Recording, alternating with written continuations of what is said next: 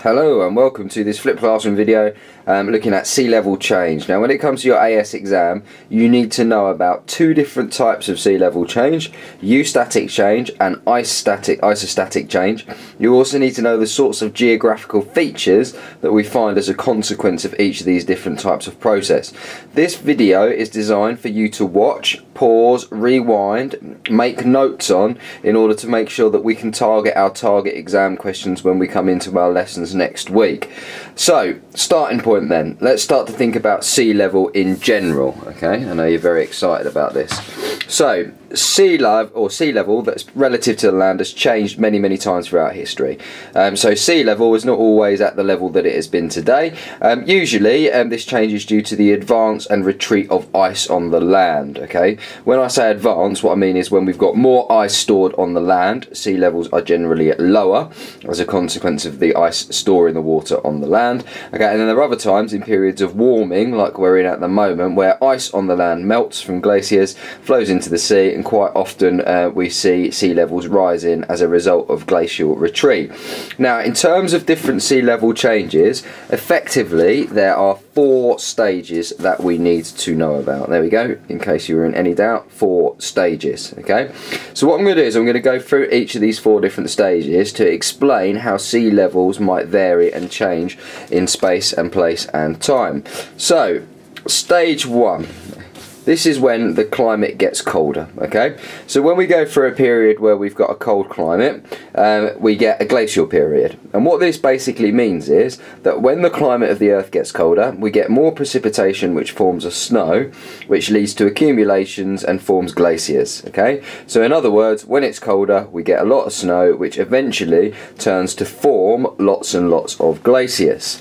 Now, that obviously will have effect on sea level changes.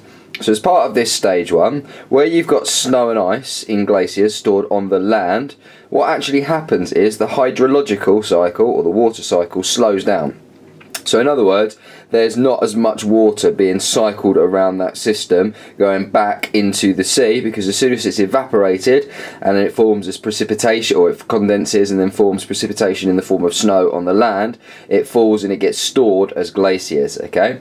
Now obviously if that moisture is being stored on the land because the hydrological cycle has slowed down that is going to leave us with falling sea levels okay? And we call this very special name eustatic fall okay? And that is absolutely crucial. So that's kind of stage one which explains how we get eustatic fall in the numbers or in the amount of moisture or water that there is in the sea creating our sea levels. Then we start to move on to stage two because this is where things start to get a little bit more complicated now, in stage two, you've got the weight of the ice on the land, okay, which actually causes it to sink. Well, this kind of makes sense, doesn't it? If you've got a seesaw and you put lots of weight on one end, obviously the seesaw is going to move and it's going to sink, okay? Now, obviously, if the weight of the ice on the land causes it to sink, okay? Um, this movement is what we call isostatic movement okay? And it can moderate eustatic sea level change okay? Now that sounds very very complicated at the moment but what I'll do is I'll show you a little seesaw diagram in order to be able to explain what's going on okay? So what you've got here is ice being stored on the land okay? And that causes the land to sink because of the weight which is called an isostatic sink okay? So obviously as a consequence of that, your sea levels are going to rise relative to your land, okay, because your land is sinking, so your sea levels come up much, much higher, and that's our isostatic sink. On the other side, I've got our eustatic change. Okay, that's what I explained in stage one. Okay, so if there's less hydrological or water going around the hydrological cycle, sea levels are going to fall. Okay, so we know what isostatic, isostatic sink is and eustatic changes, or eustatic fall. What we now need to know is, okay, stage three. Now, in stage three, the climate gets warmer. Now, obviously, if the climate gets warmer, what happens is glaciers start to melt. Now, obviously, this increases the amount of water that's in the sea, which causes eustatic rise. Okay, simple as that. Okay, so climate gets water, warmer, glaciers melt, uh, increases stores in the sea, and we get eustatic sea level rise. Okay, which is kind of the period that we're in at the moment with global warming. Um, and lower land areas will tend to flood. Okay, so places like modern day Bangladesh obviously going to find themselves in problems as a consequence of eustatic rise in sea levels. Okay.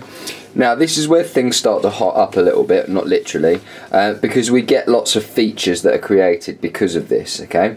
Now because these features are submerged underneath the land because of eustatic rise, we call them submergent features, and we get two features in particular, fjords and rias. And I've put more on these later because you're going to need to be able to explain the formation of both fjords and rias, and that comes a little bit later on in this video clip.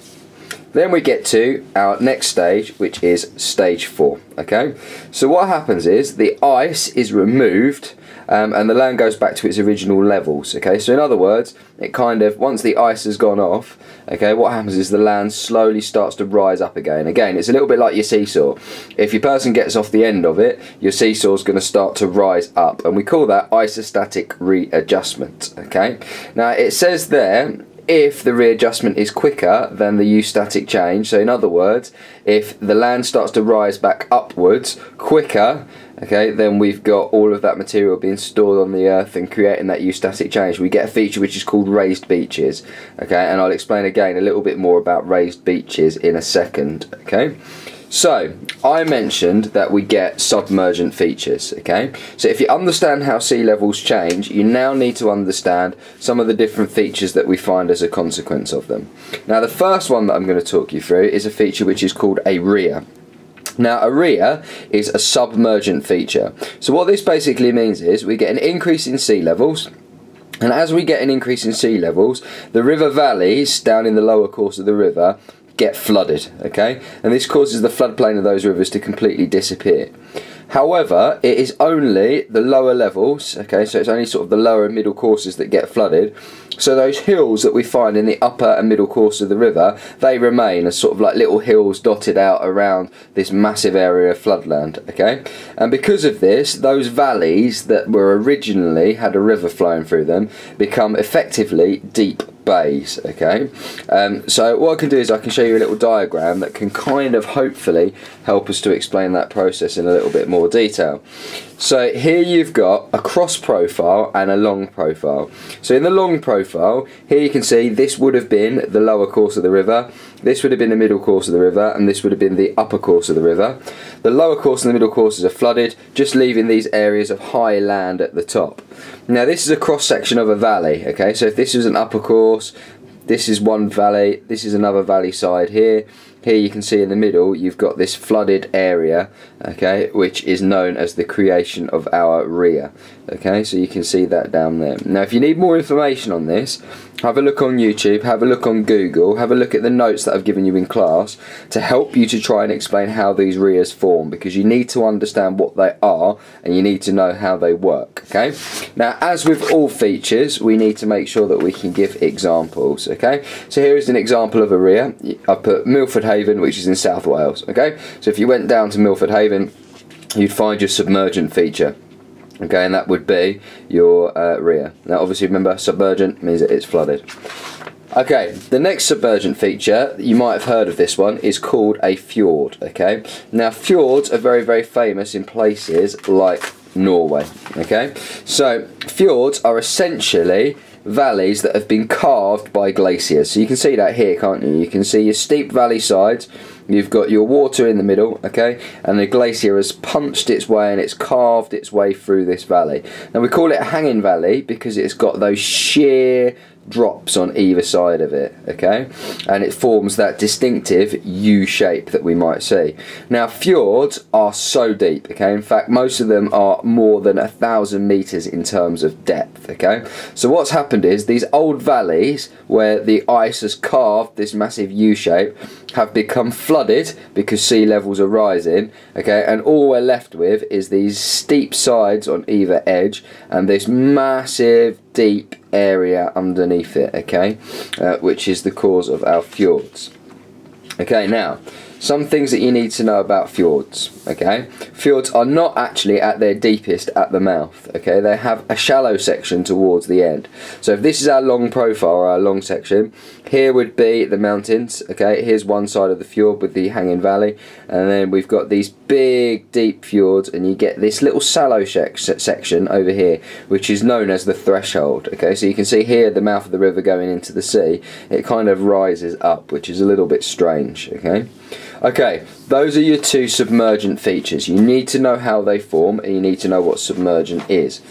The next thing you need to know about are what we call emergent features, okay? Now, emergent features, okay, are things like raised beaches okay? Now you all know what a wave cut platform is okay? So over the years when sea levels have been at various different levels you've got wave cut platforms that are formed at different depths depending on how steep or how deep sorry the sea is okay?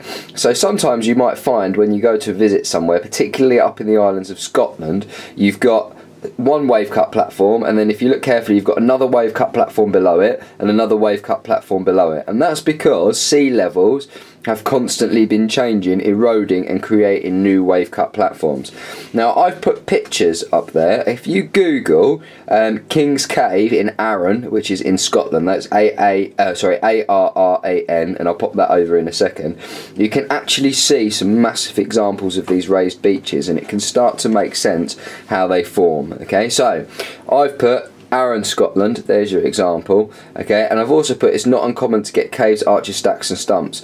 And this is particularly impressive in Arran because you can see the caves, the arches, the stacks, and the stumps. Okay, but they're at a much higher level to the water level, and that's because sea levels have fallen and risen due to isostatic, uh, isostatic and eustatic change. Okay, right, that's quite complicated. You need to make sure that you rewind, that you pause, and that you go over anything that you don't understand. You also need to make sure that you make use of the resources that have been photocopied from the textbook for you so that you can get all of those independent notes down.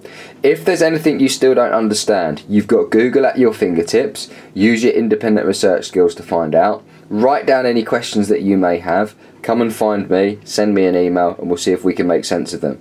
Now you should be ready to answer exam questions which looks at features such as rias and fjords. Over and out.